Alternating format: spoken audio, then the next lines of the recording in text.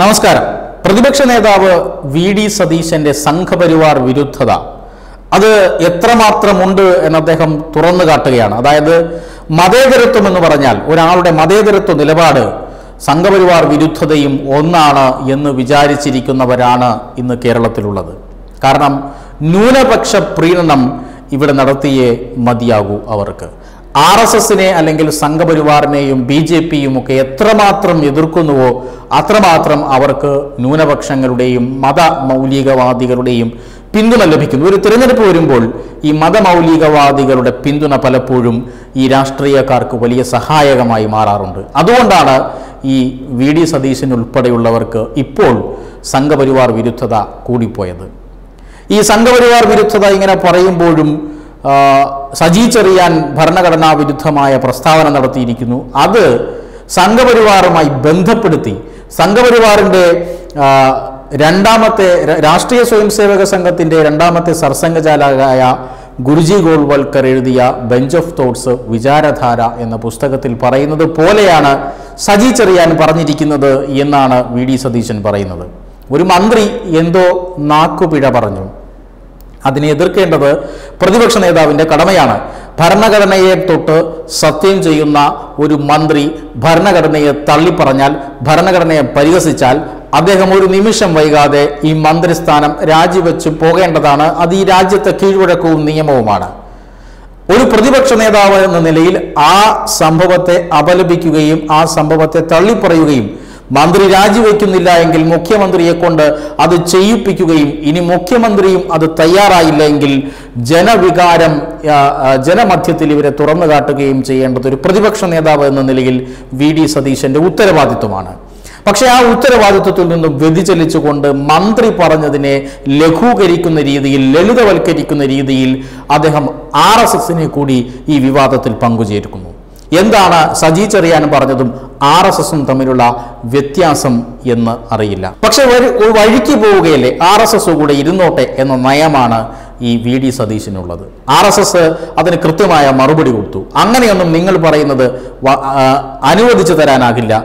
കാരണം വിചാരധാരയിൽ അത്തരം സെന്റൻസുകളില്ല അത്തരം വാക്യങ്ങളില്ല എന്ന് ആർ എസ് എസ് ഉറപ്പിച്ചു പറയുന്നു. ഈ പ്രസ്താവനയിൽ ഉറച്ചു നിന്നുകൊണ്ട് സംഘടനയെ അപമാനിക്കുകയാണെങ്കിൽ ആവശ്യമില്ലാത്ത കാര്യങ്ങൾക്ക് സംഘടനയെ അപമാനിക്കുകയാണെങ്കിൽ നിയമപരമായി മുന്നോട്ട് പോകുമെന്ന് ആർ എസ് എസ് പറയുന്നു. അതിനെ അവജ്ഞയോടെ പിറ്റേ ദിവസം സതീശൻ തള്ളുന്നു. അങ്ങനെയാണെങ്കിൽ ഇതാ എന്ന് പറഞ്ഞൊരു ഫോട്ടോഗ്രാഫ് സമൂഹ മാധ്യമങ്ങളിൽ പ്രചരിക്കുന്നു. നമ്മുടെ മാധ്യമങ്ങളെല്ലാം നമ്മുടെ മുഖ്യധാരാ മാധ്യമങ്ങളെല്ലാം പ്രചരിപ്പിച്ചതുപോലെ ആർ എസ് എസ് ഫോട്ടോ പുറത്തുവിട്ടു. അതായത് ആർ എസ് എസിന്റെ ഒരു പരിപാടി ഭാരതീയ വിചാര കേന്ദ്രത്തിന്റെ ഒരു പരിപാടിയിൽ പങ്കെടുത്ത് സംസാരിക്കുന്ന വി ഡി സതീശന്റെ ഫോട്ടോഗ്രാഫ് ആർ എസ് എസ് പുറത്തുവിട്ടു എന്ന രീതിയിൽ കഴിഞ്ഞ ദിവസങ്ങളിൽ വാർത്ത വന്നിരുന്നു. സത്യത്തിൽ ആർ എസ് എസ് അല്ല അത് പുറത്തുവിടുന്നത്. സമൂഹ മാധ്യമങ്ങളിൽ ആർ എസ് എസിനെ സ്നേഹിക്കുന്നവർ അല്ലെങ്കിൽ ആർ എസ് എസിനെ അനുകൂലിക്കുന്നവർ ഇത്തരം ഒരു ഫോട്ടോ പങ്കുവച്ചിട്ടുണ്ട്. ഇത്രയും വലിയ വെറുപ്പ് ഞാൻ ആർ എസ് എസിനെ അത്രമാത്രം വെറുക്കുന്നു ആർ എസ് എസിനെ തൊട്ടാൽ കുളിക്കണമെന്ന രീതിയിൽ പ്രസ്താവന നടത്തുന്നത്.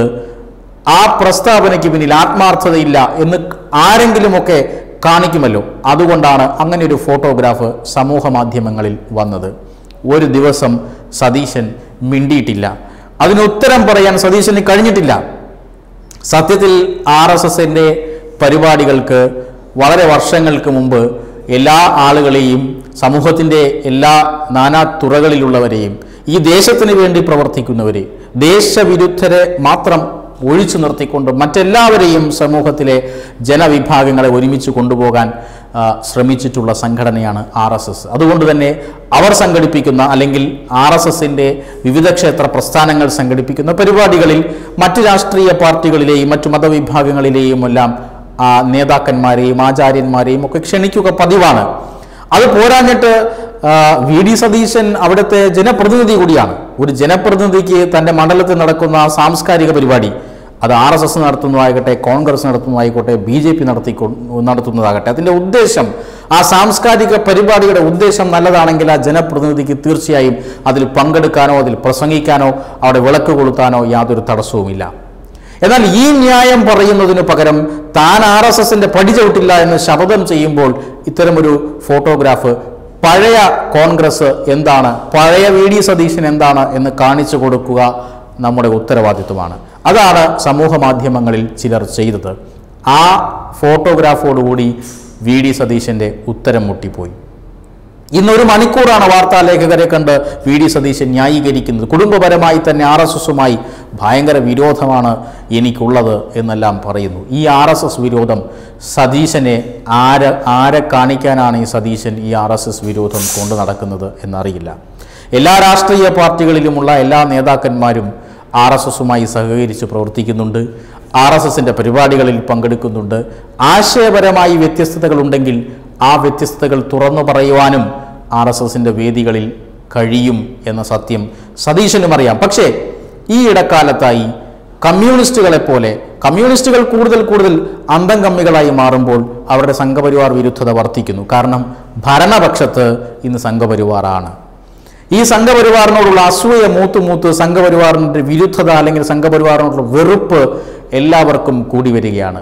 അന്തം അന്തംകമ്മികളിലാണ് ഇത് ഏറെയുള്ളത്. പക്ഷേ ഇന്ന് കോൺഗ്രസ്സുകാരും ഇവരോട് മത്സരിക്കുകയാണ് സംഘപരിവാർ വിരുദ്ധതയിൽ.